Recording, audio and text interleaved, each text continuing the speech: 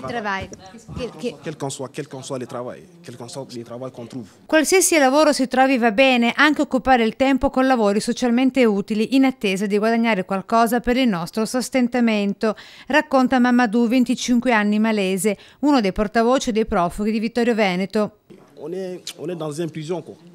Donc on a Vous voulez travailler où ici, ici, nous, ce qu'on veut maintenant, on veut avoir euh, le séjour. Siamo come in prigione, vogliamo lavorare e vogliamo farlo qui, torna a dire Mamadou. Quel qu'en soit, quel qu'en soit le travail, quel qu'en soit le travail qu'on trouve.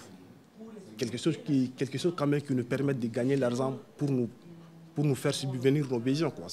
È la proposta di cui la CGL si farà portavoce con il sindaco di Vittorio Veneto, Roberto Tonon, e decisa in mattinata nella sede della Camera del Lavoro con un interprete di lingua francese, un avvocato del sindacato e una delegazione, circa una dozzina, dei profughi protagonisti ieri del blocco dell'Alemagna per far sentire la loro condizione di disagio, tra cui problemi di medicine che servono ma non si hanno i soldi per poterle comprare, dice Baillo, 32enne della Nuova Guinea.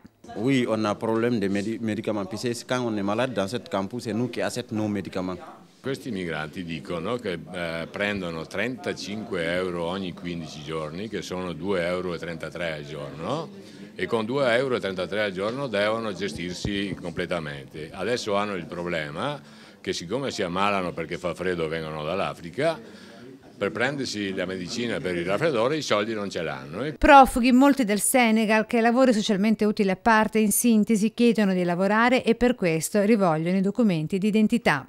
Quindi noi diciamo, decidiamo di capire chi di loro ha qualche speranza di avere i documenti per poter rimanere qui e cerchiamo di farlo cercando di non pesare nei confronti della comunità e di non illuderli rispetto a delle possibilità che alcuni hanno ma altri evidentemente no.